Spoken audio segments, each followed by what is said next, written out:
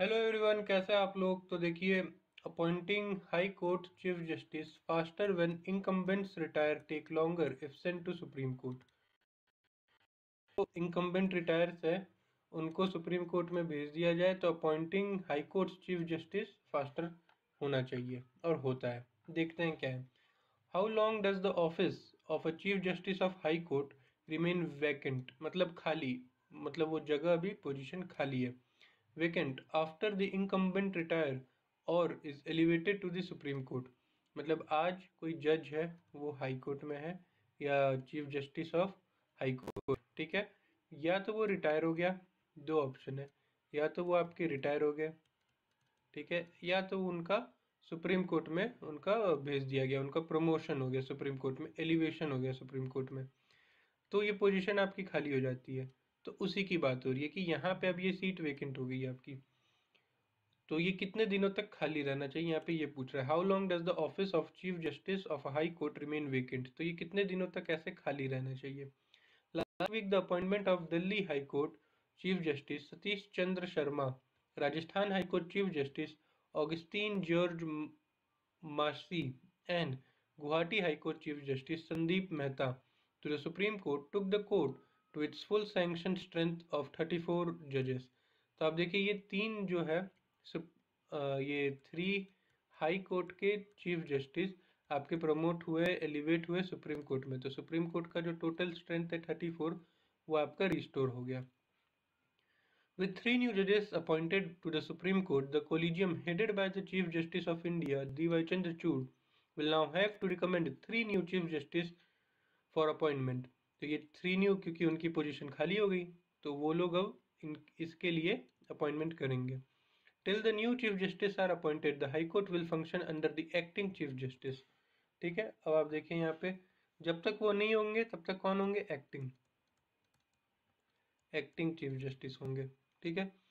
The senior most जज of the high court और ये कौन होंगे? ये सीनियर मोस्ट जज होंगे हाई कोर्ट के। The Sunday Express looked at the last 24 appointment of Chief Justice to find out how long it took for a collegium to fill the office of Chief Justice when a vacancy arises.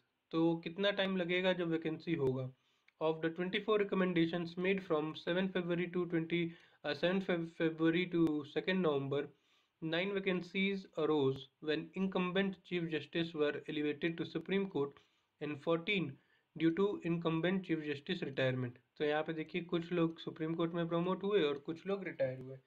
तो उस वजह से seven vacancies आई हैं अभी तक।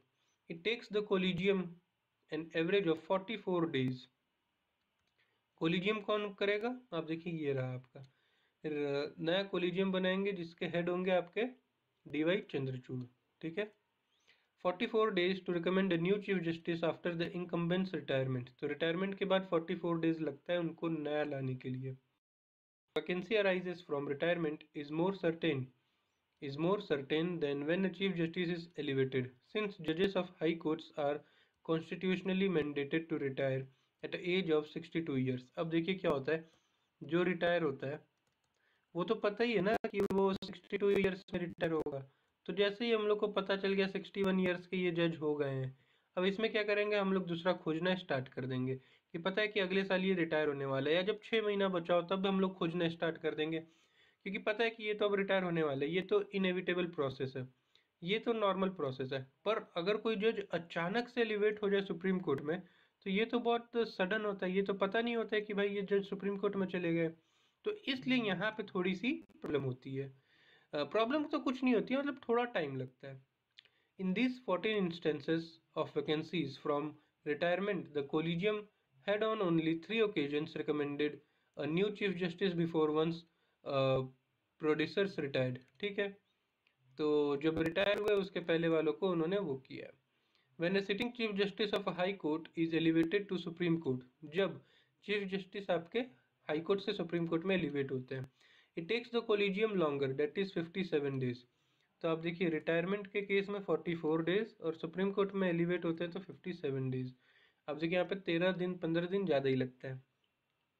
To recommend to recommend appointed appointing a new chief justice the date on which chief justice is recommended is taken as a date on which the vacancy arises rather than the date on which the government makes the appointment.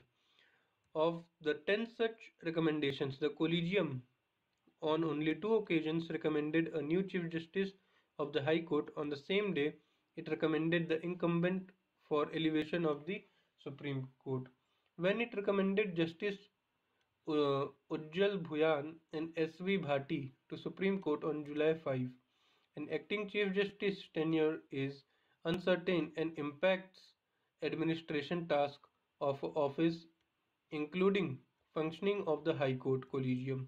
In 2021, both the Center and the Supreme Court Collegium had returned 18 names recommended by then Bombay High Court Chief Justice D.P.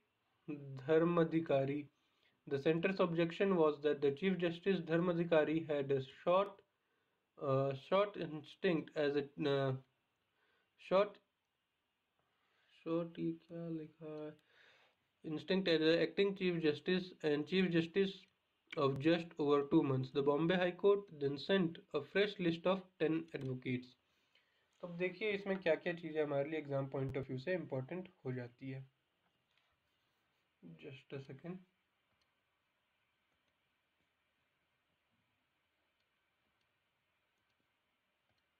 देखिए सबसे पहले जो आपके chief justice of high court है। ठीक है? इनका दो होता है। या तो ये रिटायर होंगे। ठीक है? या तो ये एलिवेट होंगे।